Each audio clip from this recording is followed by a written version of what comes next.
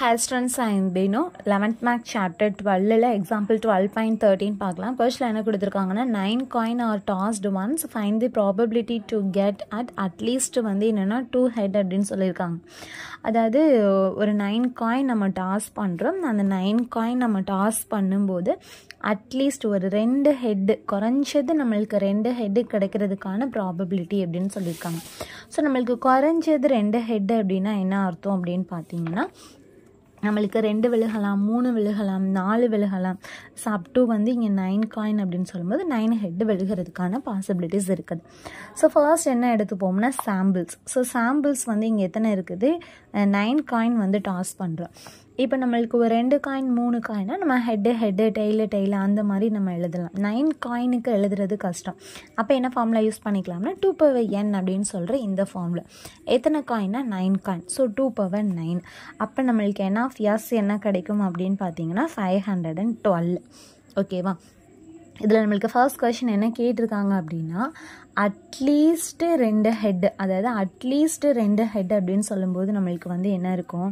இப்போ ஏ அப்படிங்கிறது at least at least two head அப்போ அட்லீஸ்ட் டூ ஹெட்னா நான் என்ன சொன்னேன்? குறைஞ்சது ரெண்டு ஹெட்டு அப்போ ரெண்டு விழுகலாம். மூணு மூணு பார்க்கலாம் நாலு அப் டு வந்து என்னென்னா நைன் வரைக்கும் பார்க்கலாம்.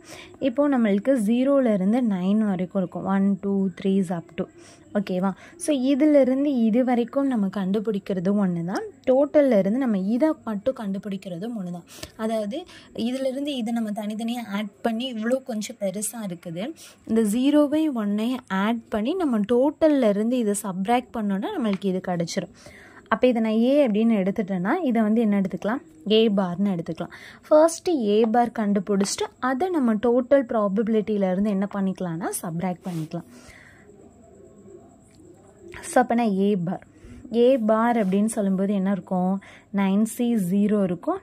நைன் சி ஒன் இருக்கும். ஓகேவா அப்போ என்ன பண்ணிக்கலாம்? இது என் ஆஃப் அப்படின்னு சொல்லிட்டு எடுத்துக்கலாமா? நைன் சி ஜீரோனா என்சி ஜீரோ ஒன்று அப்போ நைன் சி ஜீரோ என்னது? ஒன்று அப்போ நைன் சி ஒன் அப்படிங்கிறது நைன் அப்போ டோட்டல் ஆன்சர் என்ன கிடைக்குது? டென்னு இப்போ பி ஆஃப் என் பார் கண்டுபிடிச்சிடும் அப்போ இதுக்கான ப்ராபபிலிட்டி பார்த்தோன்னா P of A bar P of A பார்னா n of A bar by n of S n of A bar வந்து டென்னு என் ஆஃப் எஸ் வந்து five hundred and twelve so இதை cancel பண்ணலாம் இல்லையா? Five twos are ten two twos are four five twos are ten six twos are twelve so five by two five six okay அப்போ total probability என்ன தெரியும்? நம்மளுக்கு B of ஏ நான் என்ன சொன்னேன்? நம்மளுக்கு ப்ராபபிலிட்டி பி ஆஃப் ஏ வேணும்னா டோட்டல் ப்ராபபிலிட்டியிலேருந்து இந்த ஏ பாரை அதாவது டோட்டல் ப்ராபபிலிட்டி இருக்கு இல்லையா? இந்த டோட்டல் ப்ராபபிலிட்டியிலேருந்து இதை சப்ராக்ட் பண்ணும்போது நம்மளுக்கு இது கிடச்சிடணும். மோஸ்ட்லி ப்ராபபிலிட்டியை பொறுத்த வரைக்கும் டோட்டல் அப்படிங்கிறது என்ன எடுத்துப்போம்னா ஒன் அப்படின்னு சொல்லி எடுத்துப்போம்.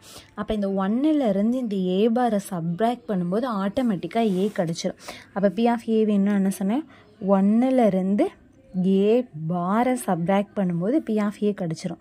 So one minus five by two five six so cross multiply பண்ணோன்னா two five six minus five by two five six அப்போ என்ன கிடைக்கும்?